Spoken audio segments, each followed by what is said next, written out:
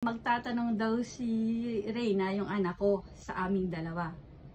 Nagpasulat sa akin ng Tagalog, tapos sasagutin namin. Ganon. Yan. O, oh, mag-start na tayo. O, oh, ano Reyna?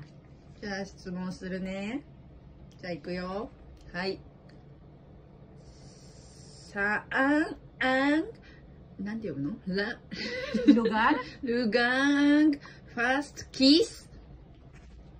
Saan ang lugar ng first kiss? 初めて二人がキスをした場所はどこですか Saan daw ang unang first kiss? Ano yung sabay? Isyo? 一緒二人。Sabay daw sasagot? 二人が Naku, pag hindi, manda ka. キスをした場所。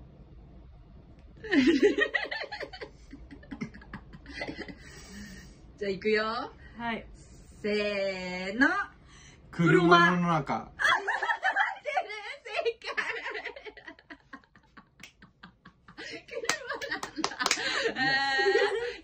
Legit. u l u m a yung sa i n a sakyan.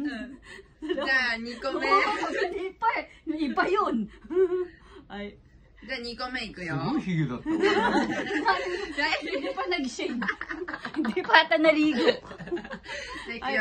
せーの。2個目。あの、アンファーストギフト。初めて、ダディがマミーにしたプレゼント。マミーがダディからもらったプレゼント。First gift? Ah. ah ano? Siguro yun.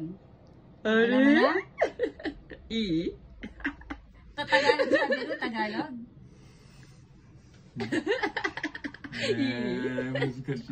gift, di ba? First ah, gift? Oh, sige. I? 자, ikuyo. One. Se, na! Ikaw! Are? Ikaw! Ikaw yung maliit!